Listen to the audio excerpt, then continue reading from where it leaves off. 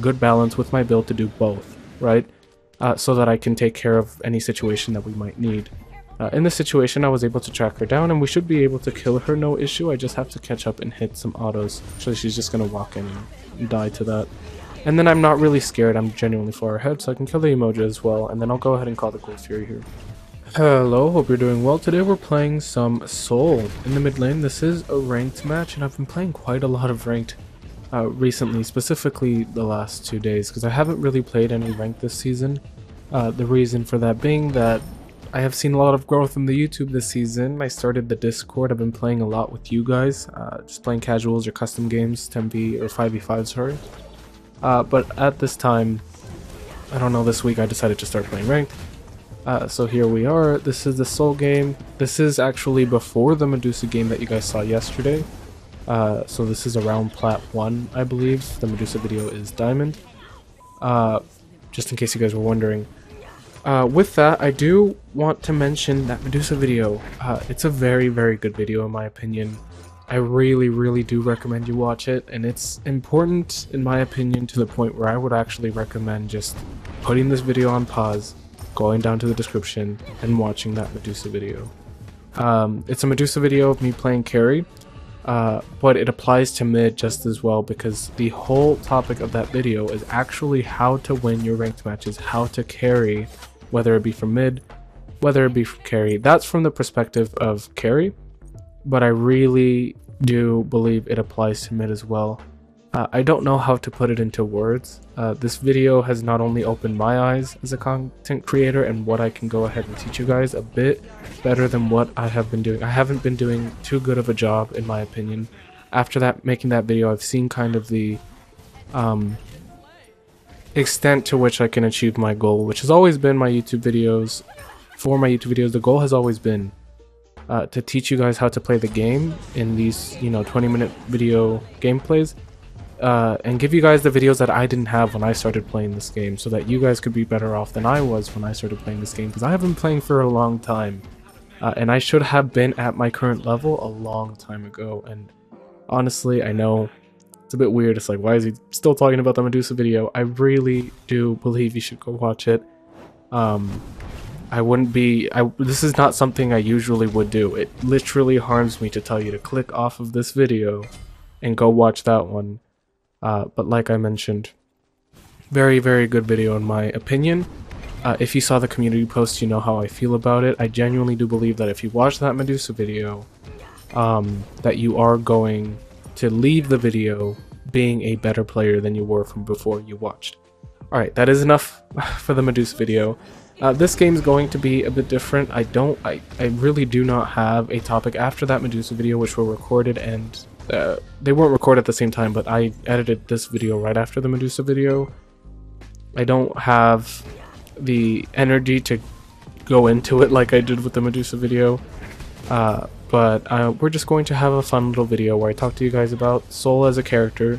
Uh, we won't go over the abilities because I have a video going over Sol's abilities and I'm trying to keep it to one or two of videos where I kind of go over the abilities and tips for them. Um, if you want to if you are curious about Sol's abilities, I have some earlier Sol gameplays, and by earlier I mean like literally a couple days ago, where I went over her abilities. Uh, but in this uh, specific game, we're just going to commentate over the new build specifically.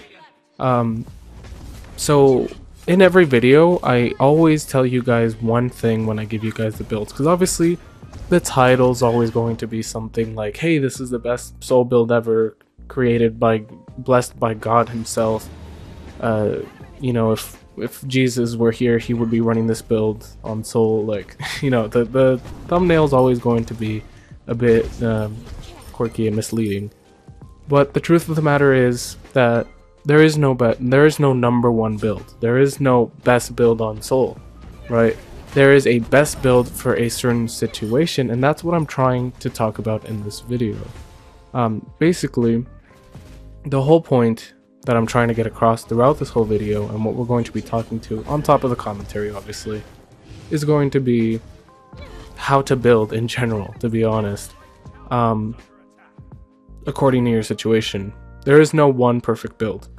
And you guys hear me talk about this at one point or another in every single video where I go in depth into the build. Um, but specifically, this one is very interesting because I want you to look at our team composition here. I pick Sol. This is a ranked match, so we don't all get to pick at the same time. I pick Sol, and then we got a Kali and an X-Ball right after that, right? Um, the cool thing about the fact that we have a Kali and an X-Ball is that both of them focus on auto attacks. That's their main source of damage. So me also being on Sol, that means we have three auto attack characters, which means we can be very easily countered. Right? There could, in theory, buy uh, items such as Toxic Blade, buy items such as uh, Midgardian Mail, and make it very hard for us to do damage considering we all rely on the same source of damage. So when I was going into this ranked match, and I probably wouldn't do this regularly, but because this is ranked, I am tryharding. Um, I kind of thinking, how can I diversify our damage so they can't get two items, like both of the tanks get two items, and then just counter all three of us, right? Uh, and then they'll also probably get Spectral Armor against the X-Ball. Um, we kind of put in the situation where I have to kind of think of a way and a build to make it so that we don't rely on auto attacks because that's all three damage dealers assassin mage and um, carry all relying on auto attacks which is very very interesting situation because we don't have any burst damage we only have consistent damage so if they were to dive our entire team they can do more damage more quickly uh, you know compared to us who have to consistently do damage with our basic attacks. They could walk in and one shot one or maybe even two of us uh, by the time that we're able to start auto attacking things of that nature. So i think and i hope that i've done a good job kind of uh, what's the word? Mm, letting you know why it wouldn't be the best idea to run a composition like this but again unfortunately this is ranked. I couldn't switch by the time that they decided to go that the Kali decided to pick Kali. I couldn't switch by that time. I was already locked in.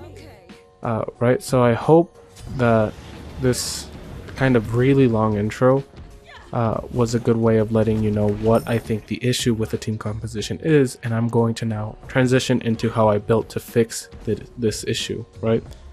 Um, this Morgan should die. no issue, I hope. Um, but like I mentioned, build. So the thing with Sol is building her non-auto attack altogether is a bit um, off because her passive is auto attacks. Uh, that's and her passive is a big part of the character, and then also specifically, you have one ability that can um, do damage consistently, I would like to say. That's the word I would like to use.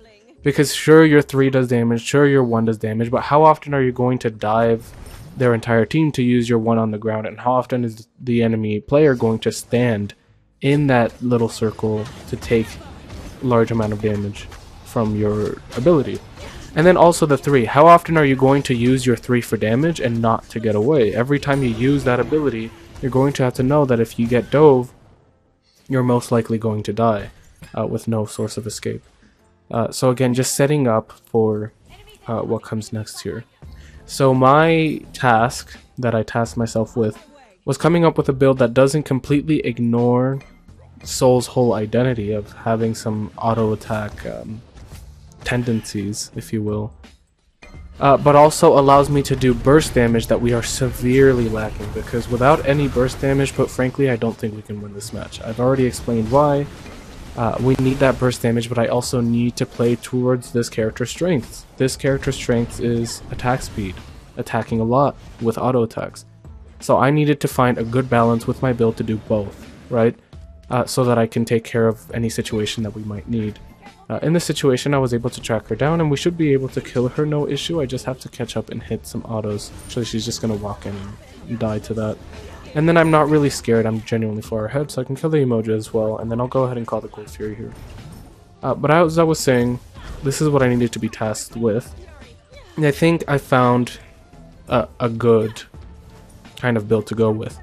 Uh, the cool thing about this video is I know that these are voiceover, so you don't get the live kind of, you know, experience. Uh, but this whole game was me just racking my brain on how I was going to pull this off in the most efficient way possible. This is what I need you guys to think when you're uh, thinking about what you're going to build. Right, I want you guys to have the ability to buy stats and not items. What do I mean by that? Uh, items change, items get buffed, items get nerfed no item is going to be strong forever. No build is going to be the best build. But if you, instead of paying attention to the specific item and instead think about what stats you want, it becomes a lot easier for you to build a, a sorry, dynamic build that can work in the specific situation because having the same build that you build every single game is only going to work if you're going up against the same enemy gods every single game, which is not only not going to happen, but I have never had that happen and I have been playing for a long time. I have not even had a game where they have the exact comp back to back, ever, right? Um, so keep that in mind. So what this video is planning to do is to show you my process on coming up with a build that works specifically for the situation and is the best build for the situation that I find myself in. Now you might be thinking, Daxonn, you have spent 14 minutes, if you look up at the timer, uh, 14 minutes of this game basically giving us this huge intro, but it's necessary and again, I kinda have this goal to make my content better and more informative. If I have to make more videos but go more in depth into certain topics, then that is going to be what I'm going to do.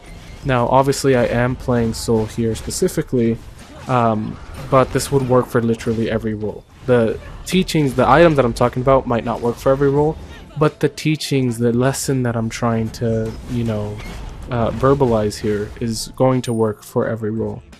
Um, without further ado, actually, right before, I want you to remind you, my Discord is down in the description. Uh, I did mention earlier that I do play a lot of games with you guys. I get you, uh, who, if you're in the Discord, uh, I'll go ahead and let you guys know that I'm looking for a couple of players to either play a custom or some, um, what's the word?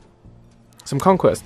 So if you want to play with me or just need someone else to play with, we have quite a lot of people in the Discord now. So please go ahead and join in the description down below.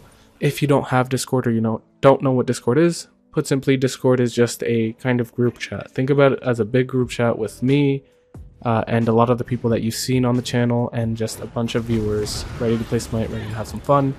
just a big group chat. That's basically what it is. Uh, and then follow my Twitch if you want to catch me live. Alright, so now finally, without further ado, I know this has taken quite a long time. Let's go ahead and get into the build itself. Alright, so I've set up the for this whole basically half of the video, uh, kind of hyping up this build.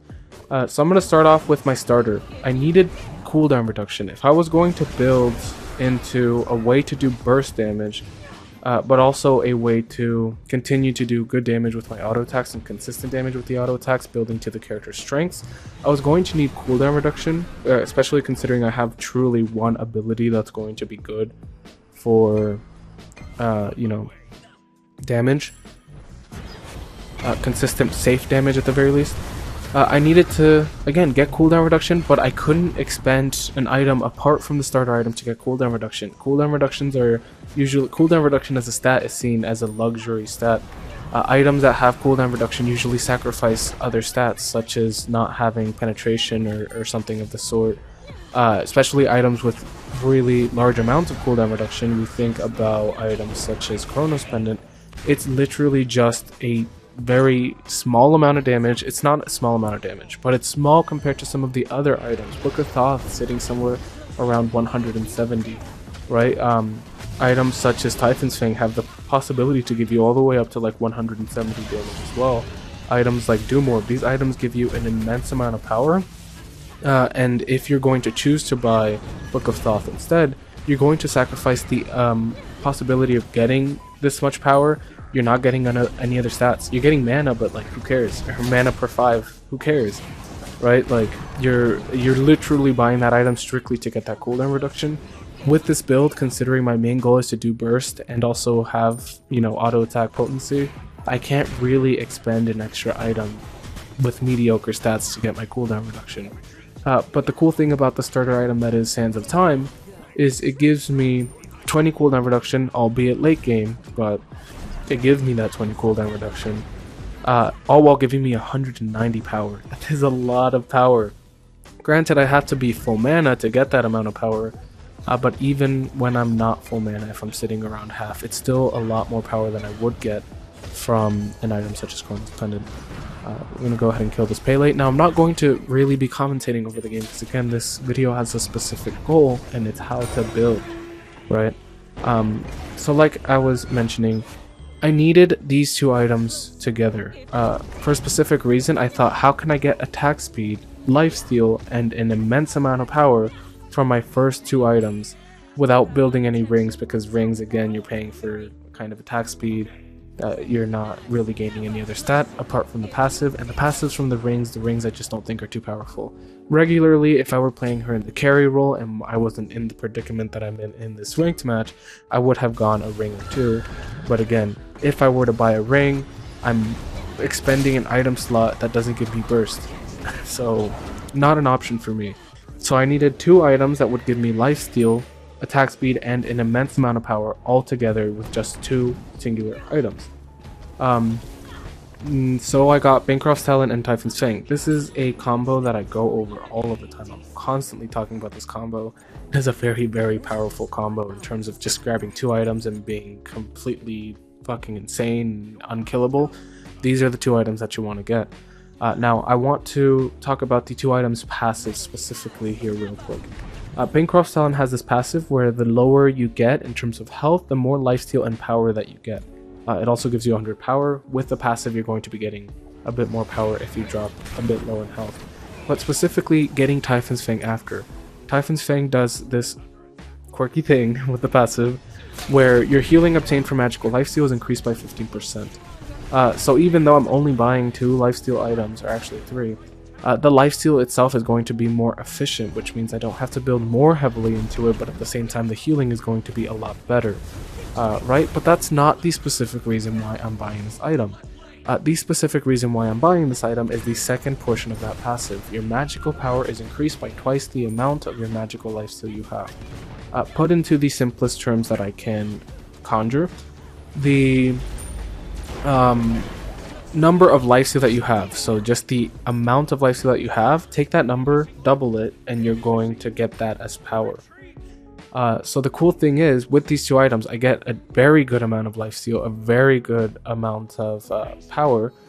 Uh, with the upgrade to Bancroft Talon, to Nimble Bancroft Talon, I'm going to get an insane amount of attack speed. These two items accomplish all of that just with two items. Um, going further into it, uh, how do I get more power, therefore more attack speed and more lifesteal? Well, let's take a look at these passives again. Uh, like I mentioned, these two items, uh, the lower you get in health, the more your the more uh, power, sorry, power and lifesteal that you get from the passive of Bancroft's. Uh, but the lower you get, if you get more lifesteal, then you get more power from Typhon's Fang passive, and also more power from Bancroft's uh, passive. So you can see these these two items working beautifully together. Where the, if you were to drop below 40% health, you are literally insane in terms of damage, in terms of lifesteal. Because your damage is going up, you're getting more stacks from the Nimble passive, which means you're getting more attack speed. I don't want to take up more time with these items. Uh, there are videos where I go over the exact math, uh, and it's literally the latest um, Sol video. I'll link it in the description if I remember to. But the most important part is the Medusa video in the description, so like I mentioned, might not happen. Uh, we should be able to win this fight no issue. I have beads and Aegis to use, just to waste some time, uh, and we'll be able to probably win this fight pretty easily.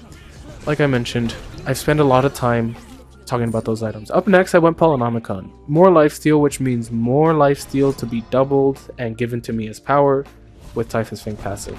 That's a big reason about why I got this item. I'm turning these lower power items into higher power items using the passive from Typhon's Fang. And then also, the passive from Polynomicon is very good. It achieves my goal, right? I'm getting more power from the Typhon's Fang passive and the base power from Polynomicon. But if we refer back to the start of this video, I told you my goal was to conjure up a build that is going to give me the burst damage that this team composition is really lacking and also still allow me to be potent with my auto attacks. I can't really waste any item slots on any of the rings, but this item is going to give me that passive where after every ability my next auto attack does a bonus amount of damage depending on how much power I have. Considering that this build that by the very end of it is going to have a very decent amount of power, um, then this is going to be a big chunk of burst damage, which again was one of my goals.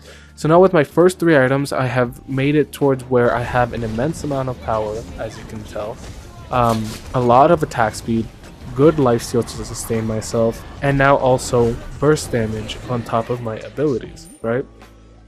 Up next, I went into Soul Reaver. I needed to take care of some of the tankier characters, I didn't want to go into Demonic Grip because again I think I'm sacrificing way too much. The items are not good, uh, too good. And I want to be able to do both damage consistently, like I mentioned, and burst damage. Again, this is the whole point of the video, teaching you guys how I go about making a build in a ranked match from scratch. Uh, so I went into Soul Reaver. Soul Reaver gives me a decent amount of power, but specifically it helps me deal with some of the tankier characters, like this Guan Yu, like this Yemoja, by having my abilities do extra amount of damage based on the enemy team's health.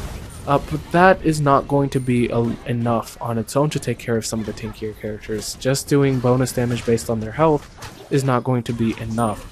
So after this, I'm actually going to top off the build with um, what is that item called? Spear of the Magus. Spear of the Magus does two wonderful things. One, it gives me a lot of power. Uh, two, it gives me uh, some percent penetration to help me deal some extra damage, just again, the tankier characters. And then also, most importantly, the passive allows me to do an extra percentage based damage to again everyone. This includes being good to the tankier characters as well as the uh, you know, tankier and squishier characters. But specifically, it also gives me lifesteal. Again, continuing on this trend of using Typhon's Fang to increase my power, uh, you know, exponentially. Uh, getting another lifesteal item will max out my lifesteal, which, if we actually take a look, if your lifesteal maxes out at, I believe, 38. Uh, don't quote me on that though, because it used to be 40, it might be 40, 38, 32. A number around there, but let's just say it's 40 uh, to make the math easier, that means that we're getting 80 power on top of the power that Typhon's Fang already gives you. So we're getting basically a brand new item worth of power just from a passive on an item that already has other passives, right? Really, really good. And good stats as well. Uh, we also have to keep in mind uh, something that I didn't mention. Typhon's Fang also gives us some percent uh, penetration so with Typhon's Fang and the passive and stats from Spear of the Magus, we're able to do quite a lot of damage uh, to the tankier characters. So I'm unfortunately out of time, uh, but I hoped that you guys learned something in terms of the building, uh, in terms of why I want this build, how it works for this specific situation, and just me kind of going over this build and, uh, and telling you guys the process uh, is going to help you guys hopefully uh, as well. But Twitch down in the description, Discord down in the description, as always, I'll see you in the next one. Bye!